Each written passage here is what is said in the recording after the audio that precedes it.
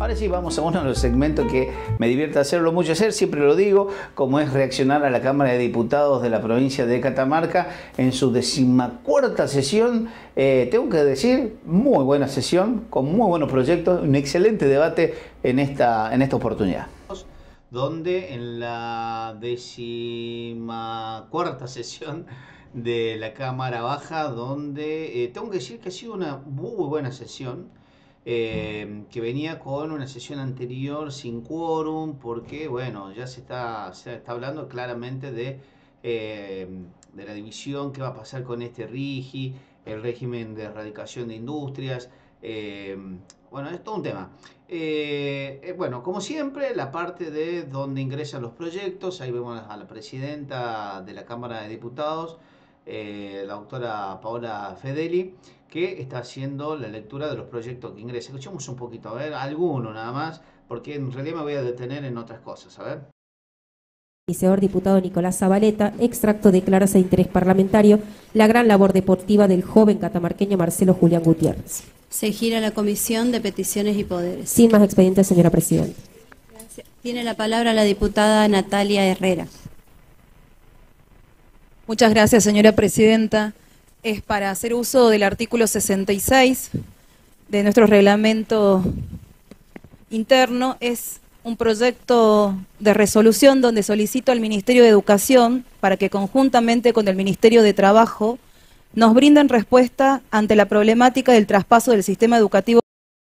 ¿Qué quiere decir hacer uso de ese artículo? Que uno en medio de la sesión puede, ser, puede proponer eh, que se trate un tema. Eh, ¿Se aprueba o no? Bueno, eh, forma parte de una votación, pero no me quiero detener en esto porque si no vamos a quedarnos sin tiempo y quiero ir a, los temas que sí pudieron tratarse y sí pudieron integrarse. Porque después te, te hace otro pedido que también tiene que ver con eh, utilizando este artículo que quisieron mm, eh, imponer y tratar el tema de eh, minería. Mira. Consideración del cuerpo, lo solicitado por la diputada Herrera, si lo a expresar, aprobado. Tiene la palabra el diputado Aguirre. Sí, señora presidenta, es para... Perdón, por secretaría parlamentaria se va a dar el número del expediente. Acordado en la reunión de Comisión de Labor Parlamentaria, se tratarían dos proyectos con despacho que se encuentran en periodo de observación. Uno es el expediente 125 barra 2024. Aguirre, disculpe, así le asignan el número al proyecto ah, de la... El 62. Ruiz. Genaro Collante, Renato Gigantino y tantos otros. Ahora viene la parte de homenaje, ¿sí? Aquellos piden la palabra y hacen homenaje. Me voy a detener, no es porque lo que los otros no tengan, eh, sea menor o no, pero me voy a detener en uno muy particular porque se cumplió aniversario del, ex, del fallecimiento del ex gobernador Eduardo Brizuela del Moral y el responsable de hacer este homenaje fue casualmente el diputado Alfredo Marchiori, quien otra hora fuera también eh, funcionario del gobernador Brizuela del Moral, de la gestión del gobernador Brizuela del Moral, eh, y él tomó la palabra, pero también eh, utilizó ese momento para hacer una crítica hacia el, gobierno provincial, hacia la doctora Corpaz. Escuchemos el, homenaje a Brizuela del Moral. los ciudadanos y medios de comunicación que estén en la tribuna. Generalmente uno trata de no, no pedir homenajes porque eh, hay varios temas de importancia en la provincia, pero eh, hay instancias y momentos muy particulares que, que requieren destacarlo. El domingo que viene, 25 de agosto, aparte de ser la autonomía de Catamarca, se conmemora el tercer año del fallecimiento o de la pérdida o la ausencia física del ingeniero Eduardo Brizuela de Moral, que ayer cumpliría 80 años. Para nosotros es, más allá del, sentido de, amistad, en algunos casos eh, lo veíamos como, como una figura paterna por la calidez humana que tenía, para nosotros es un símbolo de gestión, de gestión pública, no tan solo en esa obstinación que tenía de construir viviendas, porque en cada entrega de vivienda él decía que no hay bien más preciado para una familia que el de la casa propia.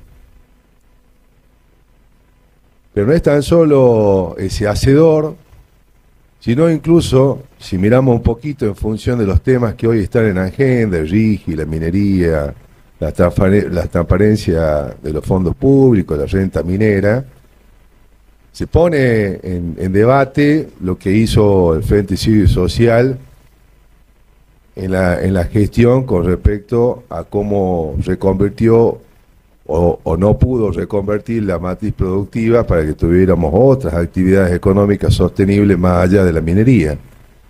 Pero había una transparencia con respecto al destino de la renta minera y que fue muy buena. De hecho, hay, hay claros ejemplos. Las empresas, las empresas que pertenecen al gobernador y su familia. Hay un conflicto de intereses. Y una vergüenza que tengamos ya desde el 2014 ocho años de intervención de OSEP y no podamos regularizar y no podamos regularizar la principal. ¿Qué dice el diputado Marchioli? Bueno, empezó a utilizar, hacer una comparación entre la transparencia y la forma en que le llevaba adelante el gobernador Brizuela del Moral a su gestión y haciendo comparaciones con el gobierno local, ¿no? Que cuando baja el gobernador, baja a imponerle obra. No le da ni la participación para poder decir cuáles son las obras que necesita el municipio. Un ejemplo es, son los adoquines que se hicieron en Antofagasta, la sierra. Los antofagasteños piden agua, energía. De interés social. Quiero ir al tema. Finalmente, el diputado Marchioli eh, toma el homenaje a Brizuela Moral para hacer una comparación con el gobierno de Raúl Jalil y hace toda una, recopilación de obras, estadio de bicentenario, eh, predio ferial, rutas, escuelas, bueno, todo lo que todos saben lo que se hizo en la gestión de, de Frente Cívico y Social y defendió el tema de la redistribución de, las ganancias mineras en aquella oportunidad. Vamos a los temas, eh, no, no por menos importante. El primer proyecto que se trató lo hizo el diputado Juan Carlos Ledesma, lo presentó y así lo expuso. Eh, por el tema de la energía eléctrica para clubes y organizaciones sin fines de lucro que hoy no pueden pagar las facturas eléctricas y él pide, ha pedido que eh, se condone esa deuda y también se le eh, deuda y también eh, perdón que, que no se le que no paguen la electricidad mire este proyecto de ley iniciador diputado Juan Carlos Ledesma extracto establezcase la, la exención del pago de los servicios públicos a los clubes, centros vecinales y asociaciones sin fines de lucro. Cuenta con despacho único. Tiene la palabra el diputado Aguirre. Sí, es para solicitar la omisión de la lectura de, del despacho de comisión para que pasen directamente al, al miembro informante. Gracias. A consideración del cuerpo la omisión de la lectura propuesta por el diputado Aguirre, los que estén por la afirmativa sirven a expresar. Aprobado. En consecuencia, tiene la palabra el miembro informante, el diputado Juan Carlos Ledesma. Gracias, señora presidenta, señores diputados, señoras diputadas, la exención del pago de los servicios de luz y agua a las asociaciones sin fines de lucro busca reconocer y apoyar la importante labor social, deportiva, cultural y comunitaria que realizan estas entidades en beneficio de la sociedad toda promoviendo la solidaridad y el bienestar colectivo.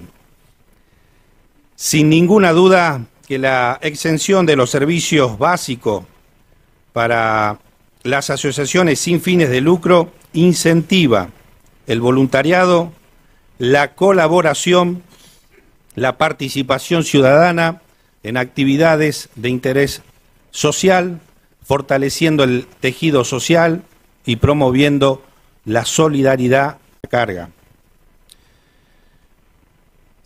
Tienen un beneficio público porque generan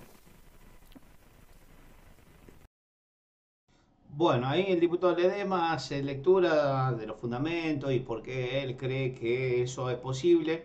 Después, eh, el doctor Fadel, que reconoce ese proyecto y, y evidentemente van a hacer la, la, eh, van a acompañar. Fadel. Gracias, señora presidenta. Eh, permítame un paréntesis en primer lugar.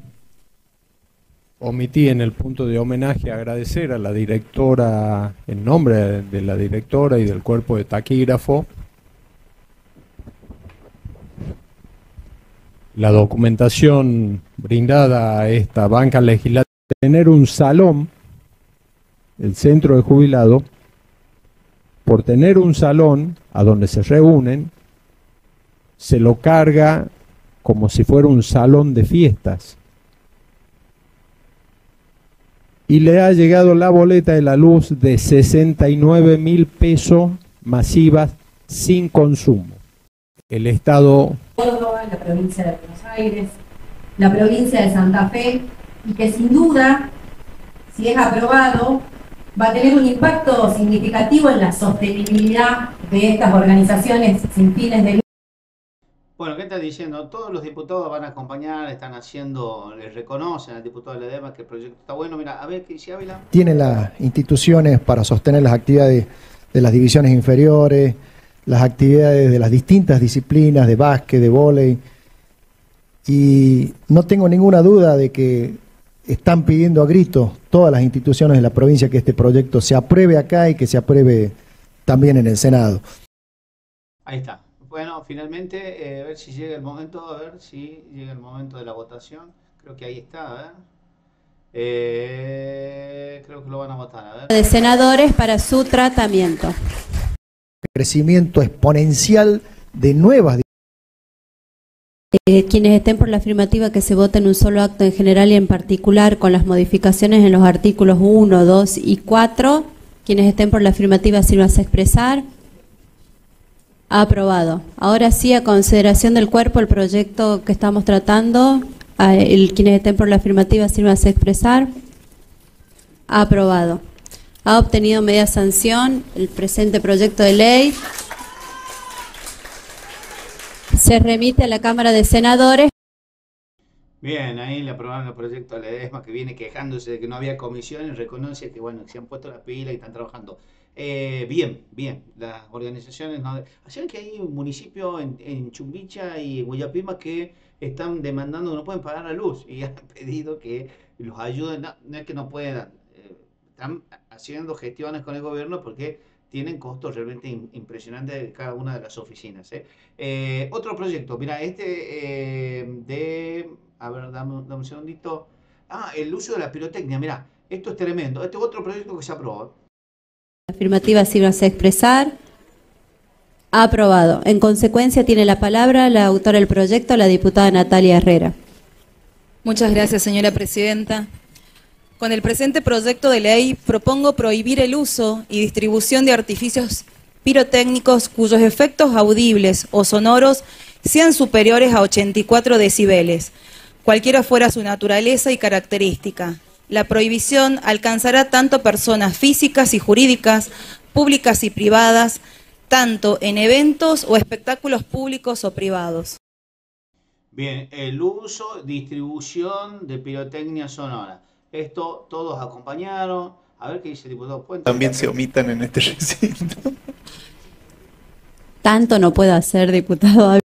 parte, Natalia, la verdad, un proyecto que define en una sola palabra. Ahí la diputada está haciendo relación. Quiero escuchar qué, qué pasó con Puente porque no sé qué, qué dijo. A ver. Uno, que lo que genera este proyecto eh, simplemente algo personal en la lucha justamente a, a los sin voz, como le llamamos a las proteccionistas.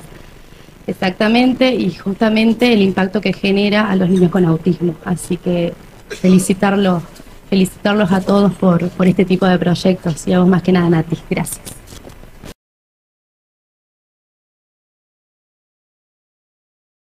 barra 2024, iniciador. Pará, pará, cortame. Ay, Este proyecto quiero que presten atención. Yo voy a adelantar mi opinión. Yo estoy a favor del diputado. Creo que es una buena herramienta. sobre todo para aquellos que conocen el interior. Si conocen a alguien del interior y que está viendo esto y lo quiere compartir, está bueno porque ustedes sabrán entender, eh, o no tan solo en el interior, algunos barrios acá también, eh, crear el tema de eh, un banco de leña. Pará, mira esto, mira esto.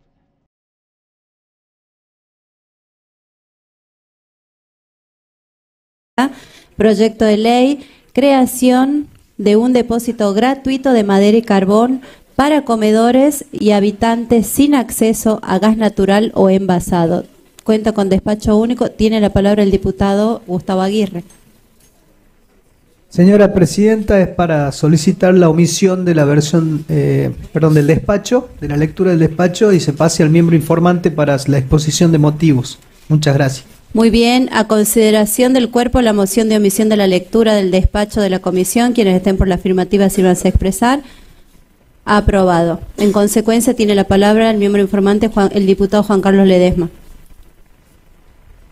Gracias, señora presidenta.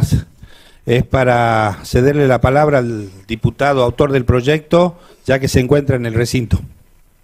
Gracias, diputado. Tiene la palabra el autor del proyecto, el diputado Nicolás Zabaleta. Gracias, señora presidenta. Gracias al miembro informante. Eh, primero agradecer a la, Comisión de Labor Parlamentario por haber incorporado el proyecto para ser tratado en el día de hoy. Eh, el proyecto busca la implementación por parte del Estado provincial eh, de un programa de acopio y distribución de madera, leña carbón en todo el territorio de la provincia para escuelas, eh, comedores comunitarios eh, y habitantes de todo el territorio que por sus lugares de residencia eh, o por su situación económica no tengan acceso a este servicio, al servicio de gas puntualmente.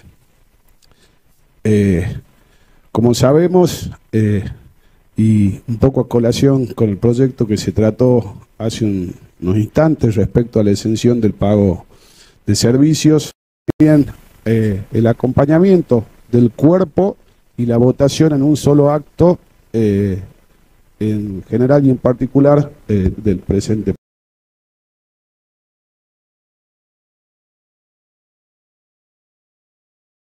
Este proyecto nos Espere, espere.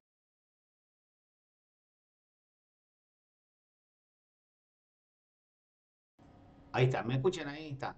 Digo, ahí vamos a ir al diputado Tiago Puente porque, a ver, eh, el, diputado Nicolás Aboleta propone este, este depósito en todo el territorio. Después desconozco cómo será la distribución, a dónde estará, si habrá uno por departamento, por municipio, desconozco.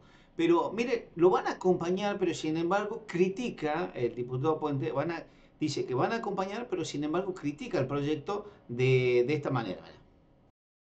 Acompañamiento del cuerpo y la votación en un solo acto eh, en cada de la gente.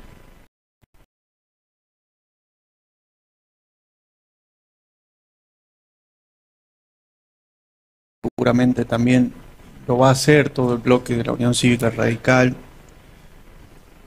pero no puedo dejar pasar que en pleno siglo XXI este proyecto nos esté dando un cachetazo a la clase política, a quienes gobiernan principalmente, por estar tratando la distribución de leña a los comedores y merenderos. Me parece que es algo que uno lo, lo lee y dice en serio, vamos a estar legislando en este sentido, cuando deberíamos, por ejemplo, proveerles de una nafe a los comedores con una, con, con una garrafa con gas envasado para que puedan hacer más eficiente el trabajo, más sano, más rápido. Insisto, Bueno, no sé, no sé si está bien o no. o no. Mira, eh, la verdad que muchos muchos diputados hablaron. Habló Cesarini también, mira. eh, me parece importante no solo por el fin social que tiene, sino también porque de una u otra manera también va a instar a la Secretaría de Ambiente a, efectivizar aún más los controles que se hacen sobre el traslado de leña y carbono. en- que fíjese que también tiene causas. Y, y hace mención, o bueno, bien podemos traer a colación, que cómo será de necesario tener que legislar sobre esto, porque está la necesidad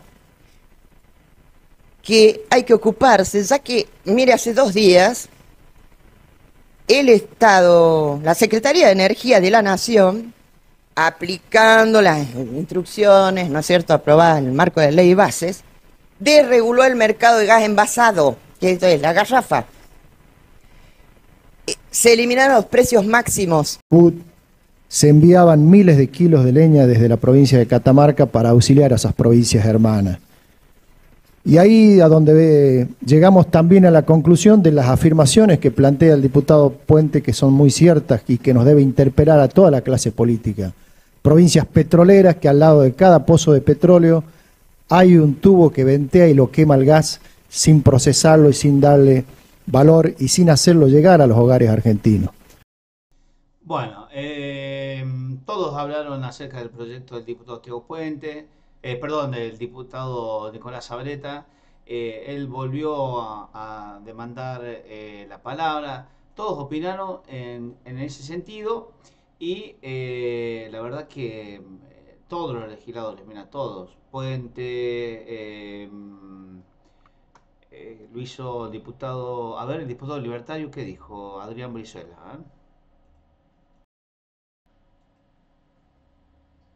oficial del mes de agosto, donde sale eh, giros del Ejecutivo a empresas del Estado, una de ellas Producat, una empresa que fue creada teóricamente para proveer de aberturas, bloques, indumentaria, precisamente al Estado, y que este año, por segunda vez, debe ser asistida por eh, cerca de 903 millones de pesos para pago de salarios. Y es el segundo salvataje que hace de Informada que la comisión Atenciones, Radio y Televisión Sociedad del Estado, ¿no? Cuyo, en este caso, giro o salvataje del Estado es por 239 millones de pesos. Bueno, ¿qué dice el diputado Brizuela? Hace una crítica de que cómo puede ser que estemos dando ese dinero, bueno, que es absolutamente cuestionable, claro, pero, eh, y después estemos hablando de eh, eh, hacer un depósito de carbón para comedores. Bueno, un reclamo lógico, justo, la diputada María... que- Escuché muchísimas cosas y también el diputado Ledesma fue muy claro al decir que esto es una consecuencia de todos los gobiernos, tanto nacionales como provinciales. Entonces, desde nuestro lado, reconocemos que hay falencias, digamos. Ahora, decir que es una vergüenza tener este debate, realmente eh, tenemos que pensar, o sea, para mí, señora presidenta, eh, esto no es una vergüenza, hay un montón de otras cosas que nos tendrían que dar vergüenza. La verdad, la verdad que un debate muy, muy interesante, el tema de eh, depósito de leña y carbón para instituciones. Eh, ¿Finalmente se aprobó, sí o no? A ver. se remite a la Cámara de Senadores para su tratamiento, suprimiéndolo. Modificaciones sugeridas en un solo acto. Muchas gracias. Gracias a usted, diputado. No habiendo más uso de, pala- de la palabra, vamos a poner en, en primer lugar el mecanismo de la votación por pedido del diputado Zabaleta, que se vote en un solo acto en general en particular con las modificaciones en el artículo 1, artículo 2, artículo 5 con los incisos mencionados y artículo 6 suprimiéndolo. Quienes estén por la afirmativa, sírvanse a expresar. Aprobado. Ahora sí, a consideración del cuerpo el proyecto, los que estén por la afirmativa, sírvanse a expresar. Aprobado. Ha obtenido media sanción el presente proyecto de ley. Se remite a la Cámara de Senadores para su tratamiento. Bien, fue aprobado el depósito. Eh, este, este proyecto de la diputada Paladino es terrible, eh, es muy bueno. Eh, Banco de eh, Provincial de Prótesis, con lo que el reclamo que hace la gente todo el tiempo, porque a pedirlo a otra provincia, aquel que está del otro lado sabe lo que significa tener, te- tener algo, la necesidad de una prótesis ir, el- ir al Hospital San Juan Bautista o, o solicitarlo a través del gobierno, saben, o gobierno o cualquier eh, intervención, eh, saben lo difícil que es conseguirlas y qué propone la diputada. Ella fue, recordemos, fue ministra de Salud, eh, profesional de los distintos nosocomios en nuestra provincia y hoy diputada y propuso crear este Banco Provincial de Prótesis. Eh, a ver, la, esta la diputada habla. en cuanto a su análisis este, y eh, modificaciones que hemos realizado en su dictamen.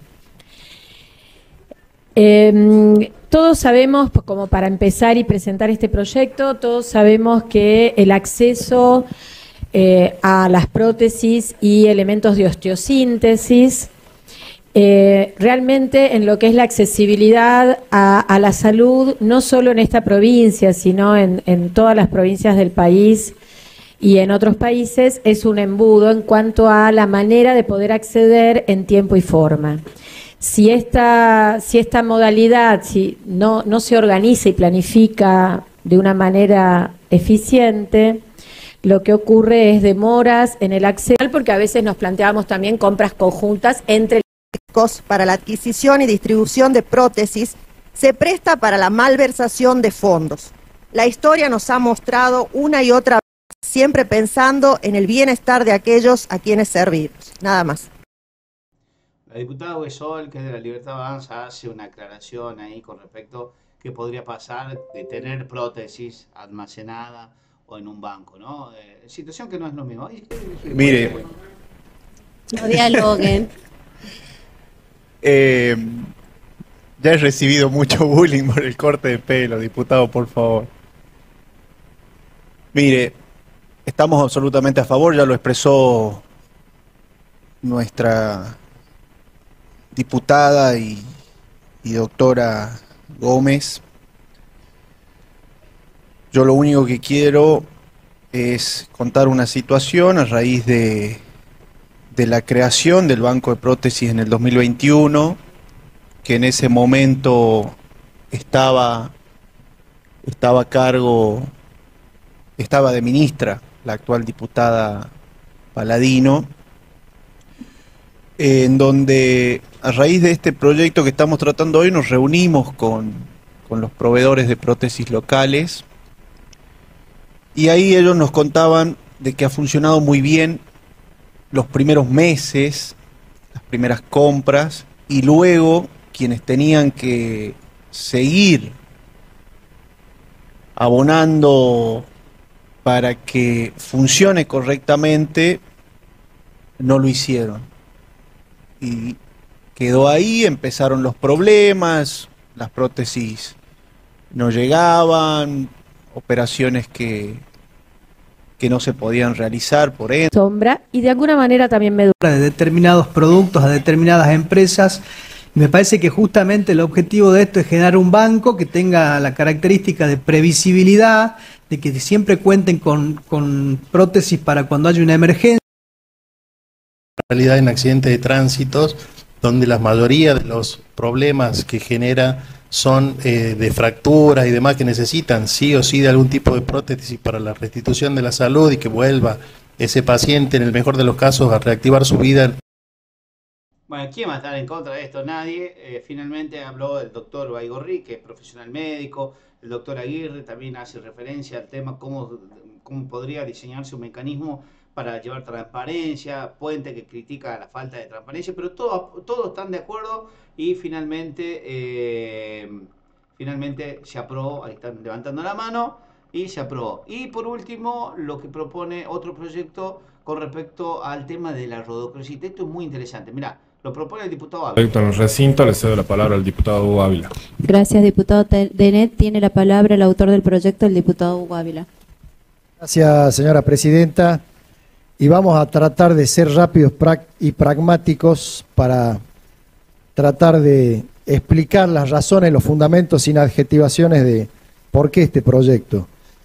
Durante más de 60 años, el colectivo de artesanos y piedreros de Rodocrosita de Andagalá tenían acceso a esa materia prima para comercializarla, para darle valor agregado y para exponerla en distintos lugares del país, inclusive exportarla al extranjero. Lamentablemente en los últimos tiempos han visto vedado el acceso a las escombreras donde iban a buscar una piedra de descarte y hace algunos años también se ha dejado de entregarle por parte de la empresa Camien, creada en el año 2012, eh, la piedra que viene de las vetas del yacimiento. Eh, eso era lo que nosotros queríamos eh, aclarar y ver si podemos unificar la... Si quieren podemos eh, tomar un cuarto Podemos intermedio de dos Bueno, voy a decir algo a favor ahí de este proyecto que finalmente, bueno, eh, toma, eh, ha tomado eh, la posibilidad de aprobarse. Eh, lo que dice el diputado Ávila es tremendo. Eh, nosotros hemos preparado un informe de Catamarca en Cana, de Oficina Fiscal, el otro programa de Supercanal. Eh, la cantidad de gente que se detiene en las rutas, en los caminos, con fragmentos de rodocrosita, con... es realmente impresionante. 200 kilos desde enero, 250 kilos desde enero hasta mayo de este año eh, y más de 20 personas detenidas. La verdad que es todo un tema y bien por el diputado Ávila de proponer esto. La verdad, terminó la sesión, ha sido una sesión más que, más que interesante, eh, muy buenos proyectos todos y vale la pena el reconocimiento para este miércoles, eh, lo que no quiere decir que no estén en temas más políticos como el RIGI, que hoy, no, perdón, el día viernes, eh, sobre el final, sobre el mediodía, hablé con un legislador, me dice, acá vamos de terminar de tener a todos los actores del, intervinientes en el RIGI, minería, fue el ministro Murúa, estuvo el ministro de Industria Caria, estuvieron organizaciones, el radicalismo lo está tratando y ha presentado un proyecto aparte. A ver, ¿qué pasó? Eh, el día viernes o el mediodía ya tendría la posibilidad de generarse un despacho de comisión. Quiere decir, ya lo hemos analizado, vaya al recinto para que se trate. ¿Será la semana que viene o quizás la próxima? Existe esa posibilidad. Ahora sí, volvemos con las notas que quedan y sobre todo con la editorial de este santo y pecador de este domingo.